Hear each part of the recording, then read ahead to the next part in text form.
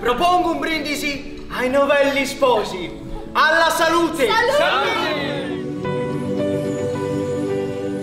Lo spettacolo parla mm, delle nozze con tre testi tratti da Canetti, Brecht e Chekhov ed è stato interessante vedere come gli autori abbiano una visione mh, particolare del matrimonio. Abbiamo lavorato su di noi, su, su, proprio degli ideali, ma poi anche sul nostro corpo, sulla nostra voce, sull'immaginazione.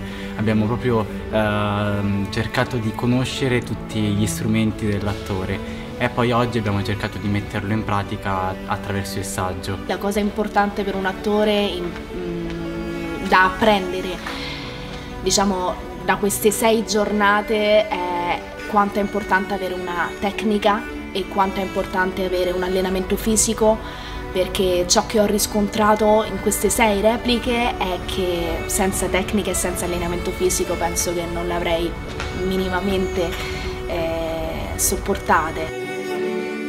È l'uomo più strano che mi sia mai capitato di incontrare. Di solito i farmacisti hanno un aspetto che consola.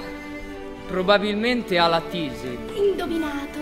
Sono anni che ce l'ha, ma non muore. Non morirà mai. Non può morire. Morirò sicuramente prima io. Ma gentile signora, almeno vent'anni più di lei.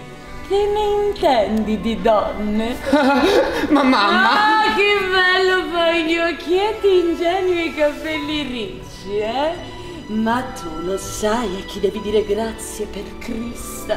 A te, mamma! A me, tua suocera, dal cuore giovane e dalle forme fiorenti. Lo spettacolo è interessante perché ha, mm, soprattutto dal mio punto di vista, il fatto che abbiamo potuto vestire i panni di diversi personaggi in diverse circostanze, in diverse serate e in diversi contesti, è stato una sorta di esperimento. Il personaggio diciamo che mi è piaciuto di più è quello che è stato in un certo senso anche inventato da Giancarlo Sammartano che è questo Verstappen tedesco dove comunque gli ho dato vita, ho dovuto fare un lavoro sul, mm, sul personaggio, su ehm, suonare la chitarra occhi chiusi, poi eh, cercare delle sensazioni, cercare di, di lavorare di immaginazione, di stare con le persone senza accavallare gli altri. Sono stato un idealista, un amico è un greco. Tre cose molto differenti tra di loro, però allo stesso tempo molto simili. Alla salute! Salute! Ah, ma da voi in Grecia ci sono le tigri? Ci sono, ci sono!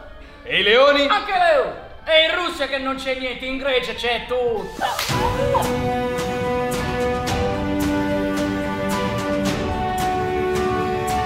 Teatro significa vivere davvero quello che gli altri nella vita recitano male.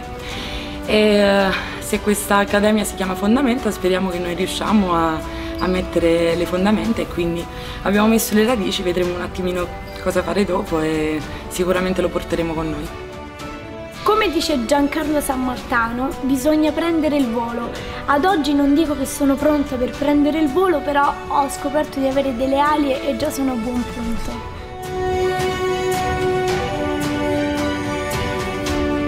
Uno dei personaggi che ho interpretato in Brecht è quello della sorella Ina, che a un certo punto dice Peccato che questa bella serata sia finita così presto, dopo tutto viene una volta sola. E poi, come dice Hans, comincia la vita, perché quella di, di stasera non è, non è la fine ma è l'inizio di tutto.